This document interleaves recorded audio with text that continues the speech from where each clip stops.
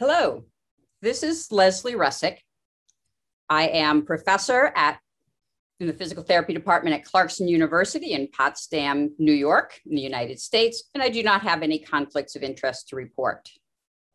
So objectives at the end of this presentation, hopefully you will better understand how your daily activities can contribute to pain and other symptoms, in particular, breathing correctly, sleeping better, and sitting and standing with less stress to your body. And hopefully you'll understand how physical therapy can help you to achieve these goals. So we're going to start with breathing. And if you see the quote, you mean there's a wrong way to breathe? We usually don't think about breathing, but there is a wrong way to breathe. And we'll talk about why breathing correctly is important, about diaphragmatic breathing and what problems can happen when you don't do diaphragmatic breathing, the benefits of slow breathing, the importance of nose versus mouth breathing, and how physical therapy can help. So this is the diaphragm muscle. It's a dome shaped muscle that connects to the ribs and the breastbone. And then it connects down to the lumbar vertebrae. And that's going to be important for some of its functions. The diaphragm is the primary muscle for relaxed breathing. It coordinates with your abdominal and pelvic floor muscles. So the three have to work well together. It helps to stabilize the lumbar spine.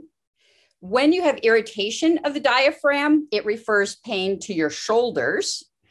But there are 14 plus other accessory breathing muscles that are helpful for or important for strenuous breathing, but that you may use if you're not breathing correctly at rest. So this is diaphragmatic breathing, and feel free to try doing this as I describe it. So this picture on the left um, shows where the dome of the diaphragm would be between your lungs and your belly.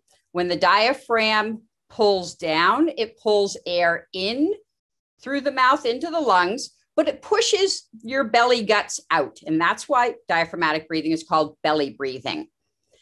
When you exhale, the air comes out, and normally the belly rebounds back in, but it requires some muscle tone in your abdominal muscles. A good way to learn diaphragmatic breathing, if you don't do it naturally, is to lie down, put your hand or a book on your belly. And when you inhale, your belly should go up. And when you exhale, your belly should drop back down again. Accessory muscles, I mentioned that there are 14 of them. I'm going to talk about a couple of them that are common sources of pain. So in the neck, there's a muscle called the sternocleidomastoid muscle. And when it's overactive for breathing, it can cause headaches, ringing or fullness in your ear, sinus congestion, nausea, or dizziness.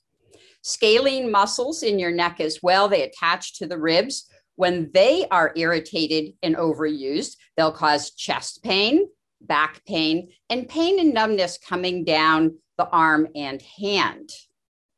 So, what are some of the problems of diaphragm if you're not doing diaphragmatic breathing? Well, the accessory muscles are overused, as I just mentioned, and that can cause a number of symptoms.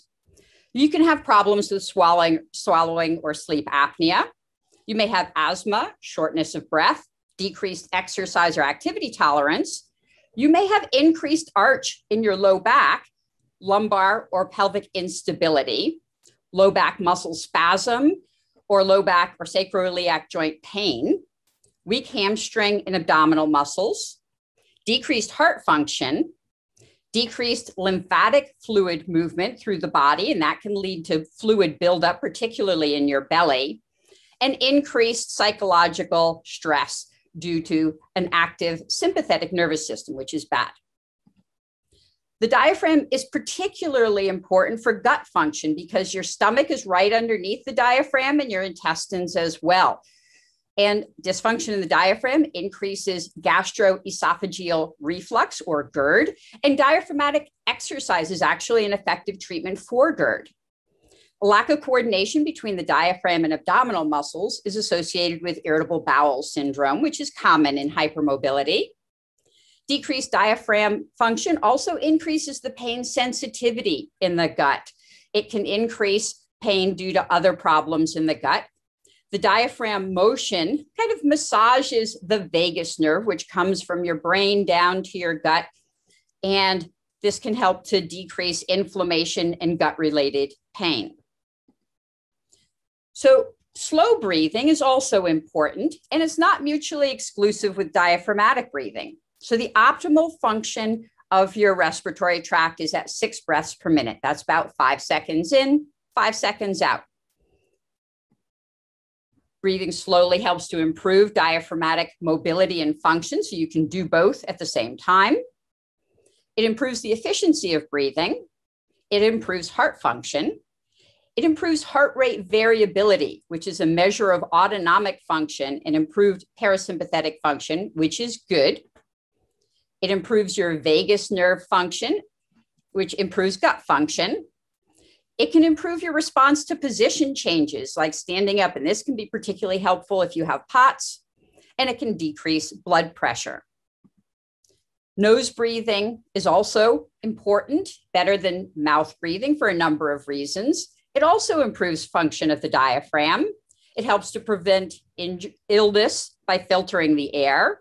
It can improve oxygen absorption, airflow, and blood flow in the lungs.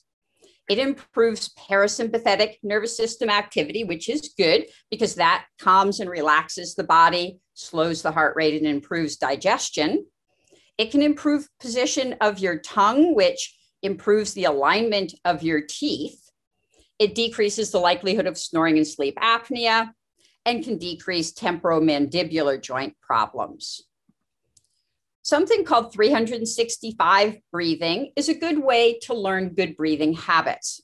And they say three times per day, although even once per day is helpful. You breathe six times per minute, which is five seconds in, five seconds out, and you do that for five minutes. And over a period of weeks, it'll actually change your nervous system to help calm your sympathetic nervous system, which can help to achieve benefits. And an interesting fact is that almost every culture in the world has a chant or a prayer that slows our breathing down to six breaths per minute. So, in the Catholic tradition, Buddhist, yoga, Hindu, African, Hawaiian, all of these cultures have some type of a chant or prayer that slows the breathing down. So, you can think that this must be something that's been important for thousands of years. So, how can physical therapy help with breathing? Well, physical therapists are movement experts. Sometimes how you do things matters. We're all breathing, but how we breathe makes a difference. People with hypermobility have decreased body awareness and they may not realize they're breathing incorrectly or might not know what correct is. And there are at least 14 muscles involved in breathing, and a physical therapist can help you figure out which are working properly and which are not.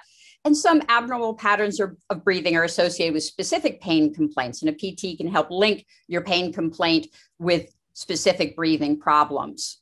And a PT can identify which breathing exercises are appropriate for you and make sure you're doing them correctly. And there are some resources here for breathing. Particularly interesting is this article by Andre on the health benefits of breathing properly. So I'm going to turn now to sleeping. And my quote here is Why is it so difficult to sleep? Because sleeping is often a challenge for people with hypermobility. So we'll talk about the importance of sleep, pain management at bedtime, positioning in bed, how to deal with nighttime subluxations, sleep hygiene, and how physical therapy can help. So, why is sleep important? Well, it improves brain function, learning, and memory. It improves emotional well being pain management. We know that sleep deprivation increases pain sensitivity, turns the volume up. It improves physical health in a number of ways. It improves your body's ability to heal from injury or illness, and it improves your immune function. It can help with weight control by regulating hunger hormones and insulin, and so it can decrease obesity. It improves your energy, and it improves your function and safety during the day when you're not groggy. So, managing nighttime pain is a common problem. And the picture here shows a body pillow that can help you position. We'll talk about that more in detail. So, managing nighttime pain starts with managing daytime pain through things like posture, proper exercises, body mechanics, etc. A hot bath, heat, ice, topical rubs, TENS, otherwise known as an electromassager before bed, can sometimes help to manage nighttime pain. Doing relaxation exercises, gentle movements, or muscle stretches can be helpful. Things that are helpful for physiological quieting to decrease nerve sensitization. Things like meditation, slow breathing, something called binaural music where you hear different things in each ear, sleep yoga, etc. Using optimal body position support and padding like this pillow. For some people, weighted blankets can be helpful, especially for people who struggle to sleep because of anxiety or depression. And then, of course, pain medications if necessary. So, the ideal bed support can be a real challenge for people with hypermobility because we're really sensitive. I call it the princess and the pea syndrome. So, ideally, we want the spine to be straight if you're lying on your side and we look from the back. If you're lying on your back, we want the spine to have its normal curves in it. Pressure should be distributed across the body. So, this picture on the upper right shows that there's support under the head, shoulder, waist, hips, and legs. And this picture in the middle shows support under the knees as well as the head. A bed that's too soft is shown here on the left, and you get this hammock effect where your body bends sideways. And this, of course, is not good for your spine to spend hours in this side bent position. But a bed that's too hard is also a problem, that it can cause your spine to curve abnormally, especially for women with hourglass figures, as this cartoon shows.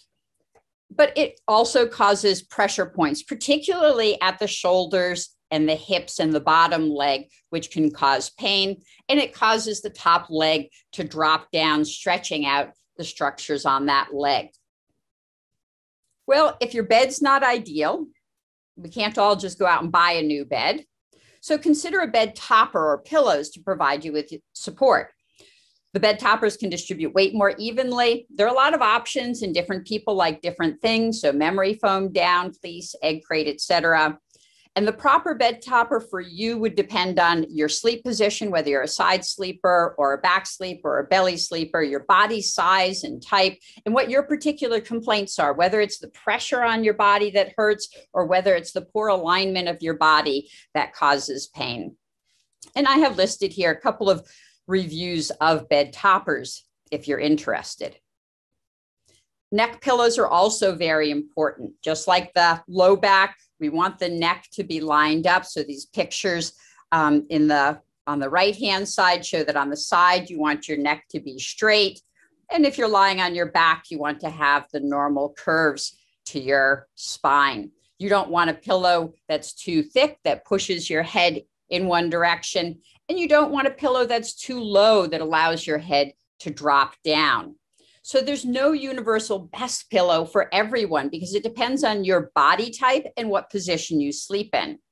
So whether you're a back sleeper, side sleeper, stomach sleeper, you would need a different type of pillow. But the goal is that your neck should be aligned with your spine. It's also important to support your body in bed. And this can help to decrease tissue compression by distributing your body weight. So here are some examples. So a common area of complaint is the bottom shoulder. Shoulders were not designed to be slept on. They're designed to move the arm around. So the pillow here on the left shows um, that there's a space for the shoulder to go through. There's support for the head. So there's decreased pressure on the shoulder um, to protect the shoulder. In the middle, there's a picture of a waist pillow that helps to support her waist. And this achieves a couple of goals. One, it helps her spine to be lined up because she has an hourglass figure and we don't want her bent sideways, her body adapting to the bed. But it also decreases weight on her shoulder and hips, so it can decrease that compression pain. The picture on the right top shows using a pillow between the legs, and this helps to prevent the muscles in the hip from being wrung out by the leg dropping down too much. And the bottom right picture shows a body pillow, which can be very helpful, especially for stomach sleepers, because we don't want your head turned all the way to the side if you're a stomach sleeper. So the body pillow lets you put your weight onto the body pillow and keep your head lined up. So nighttime subluxations, it's possible for your joints to slip out of place at night when the muscles relax. You can prevent this before bed, of course, by strengthening, stabilizing muscles, stretching tight muscles, improving your posture. But when you're in bed, you can use pillows to support your limbs, as we've talked about. Position your joints in mid range, not stretch them. In this picture of a hand brace shows how you position them in mid range. You can decrease the weight of blankets on your joints. So the ankles can actually sublux by, from the weight of the blanket. And this little prop helps to hold the blankets up. And you can consider sleeping with braces.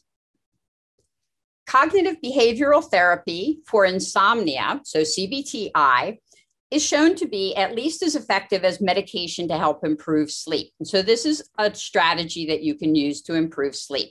The CBTI is just one of many apps that are available, but it's free. It has a sleep self assessment tool. It has Sleep 101 education with information about healthy sleep, and it has some tools for relaxation. But there's a review of other insomnia apps listed here. Sleep hygiene is important. There are a number of do's using your bedroom only for sleep and intimacy, regular schedule, exercise, exposure to bright light, keeping the bedroom cool and quiet, having a wind down routine. And there are some don'ts, things to avoid eating, avoiding naps, avoiding computers, phones, and tablets with blue light before bedtime, and avoiding lying in bed awake. If you can't sleep, get up, go somewhere else, and do something boring. POTS can also disturb sleep. It can wake you up at night if you have a POTS episode because your body releases Uh, adrenaline and your heart starts to beat. So, some management ideas general POTS self management, doing some relaxation activities at bedtime to calm your sympathetic nervous system. So, things like breathing, yoga, meditation. Elevating the head of your bed can help decrease your need to go to the bathroom at night by helping to retain fluids. Sleep disordered breathing, so things like sleep apnea, are six times more common in people with hypermobility than the general population. So, some strategies changing your sleep position can help. So, half of sleep apnea is due to sleeping on your back, so shifting to side sleeping, and then improving your breathing overall. So, diaphragmatic breathing, nose breathing, and of course, CPAP, the continuous positive airway pressure, is the standard treatment. How can physical therapy help with sleep? Well, PTs are experts in body alignment. They can help you determine optimal sleep position to minimize stress to your body. They can help with pain management through teaching you posture, body mechanics, joint alignment, educating you about self management strategies, help with POTS management, help teach you to breathe to decrease sleep apnea, encourage you to exercise and empower you to exercise, which improves the quality of your sleep, and here are some resources for sleep management. So, sitting and standing. I often hear patients say, but I wasn't doing anything when the pain started. And this is particularly common for patients who come in with headaches. I wasn't doing anything, but we're always somewhere. We always have a posture. Our head is always somewhere. So we're going to talk about forward head and text neck. We'll talk about some common causes of pain from sitting posture, some trigger points, and the role of being sedentary on pain sensitivity. So, why is sitting posture important? Well, static positions that you maintain for a long time put a lot of stress on joints and muscles. And you can imagine for this gentleman, his upper back and neck are hanging on their muscles and joints. The prolonged stretch can cause more damage than a short term stretch. So we call this tissue creep, where the tissues get longer if you put a gentle load on them for a long time. And the prolonged stretch can compromise blood flow to the muscles, which can cause pain. Poor sitting posture can cause headaches, neck pain, upper and lower back pain, decreased energy and mood, and poor breathing patterns. Two common bad postures are forward head and text neck, and they place excessive forces on the joints and muscles. They can lead to muscle spasm and trigger points, cause compression of nerves in the neck, and even compression of the spinal cord structures. So, if we think about the head weighing 12 pounds, imagine it like a bowling ball. And if you held a bowling ball straight over your spine, it would be fairly easy to hold. But once the head is two inches forward of the spine, the weight of the head is as though it's 32 pounds. And if your head is four inches forward, it feels like it's 42 pounds. And of course, these muscles and joints are going to be stressed. Plus, if your head is forward, you have to cock your head backwards to be able to see. And if that's the equivalent of having your head tipped backwards, and of course, that's going to hurt. We have a new diagnosis that's been named text neck because of all the time we spend looking down at our devices. Again, the 12 pound head can weigh the equivalent of 50 pounds if you have your head tipped forward 45 degrees.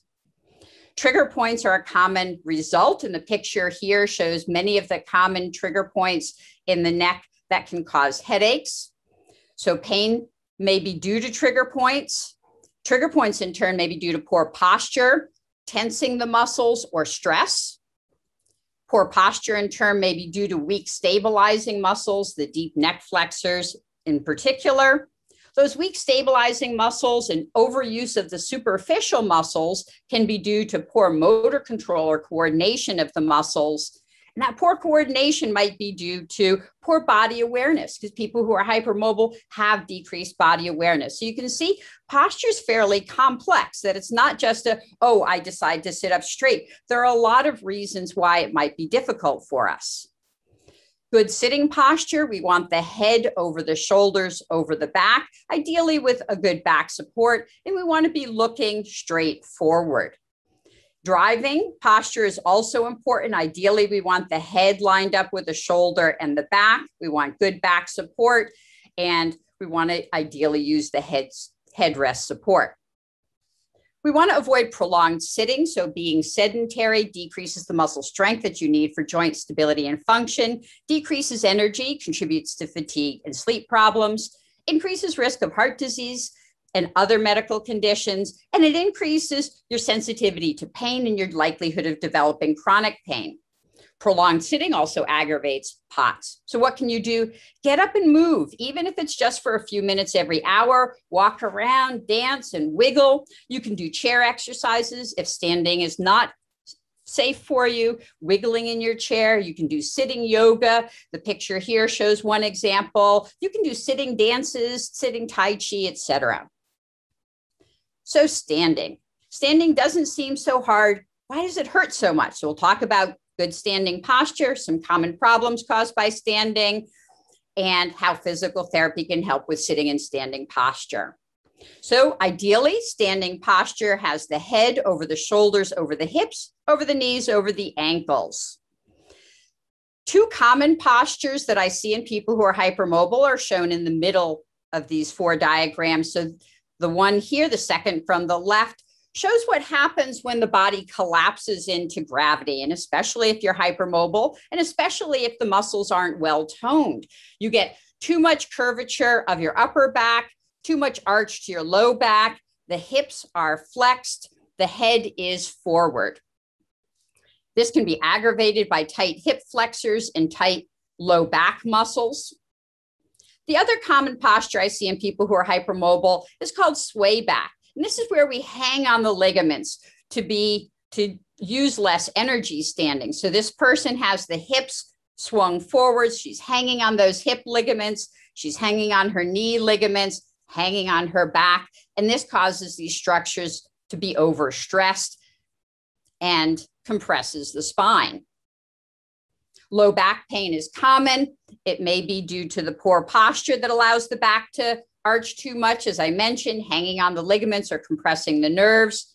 The muscles tense to brace an unstable spine, poor body awareness, using muscles improperly, not using the diaphragm muscle, as we talked about before, and having tight hip muscles. And the picture on the bottom here shows the hip muscles go from the lot thigh bone to the spine. And when they're tight, they pull the back, the spine forward in that excessive lordotic posture I showed you.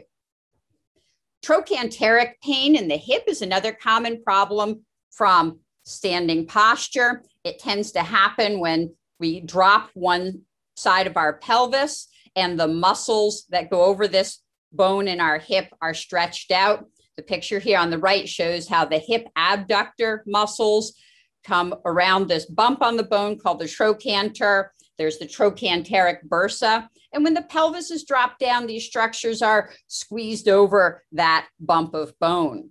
It can happen because of muscle weakness if you're too weak to hold your pelvis level, but it can also happen from poor body awareness if you simply don't realize that you're doing it or don't know that it's not appropriate. The muscles and tendons become overstretched, the bursa is compressed. It can also be aggravated by flat feet, which turns the knees and hips inward, pulling on the hip muscles and tendons. And so orthotics may be helpful to align the whole leg to decrease stress on the hip. Patellofemoral pain is also a common problem from standing. So the kneecap here can become painful. It can happen when there are loose ligaments in the kneecap, allowing the kneecap to move too much.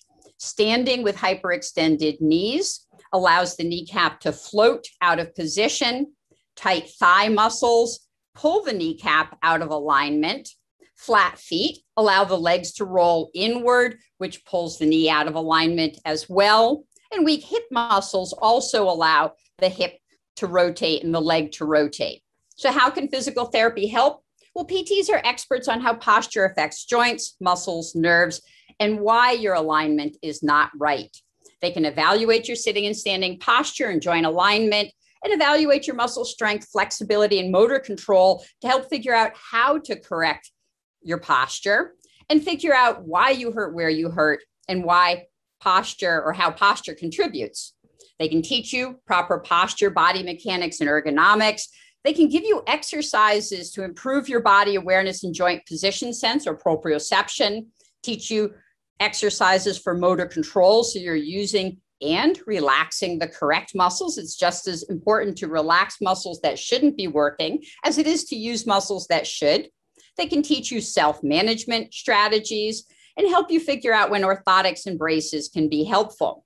They can give you specific exercises to strengthen weak muscles or carefully stretch tight ones, ensure that you're doing your exercises correctly, and provide hands on therapy to address imbalances and pain. And here are some resources for sitting and standing.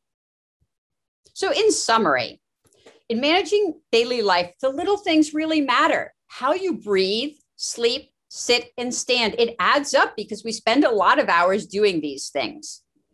People with hypermobility are at increased risk of doing these things poorly, which increases pain and other symptoms. These activities are actually quite complicated in the demands they place on our body, and it can be hard to figure out what you're doing wrong and why. And physical therapists are movement experts and experts in how we use our bodies, and they can help you learn how to better manage daily life. I have my references here, and thank you very much for listening to me.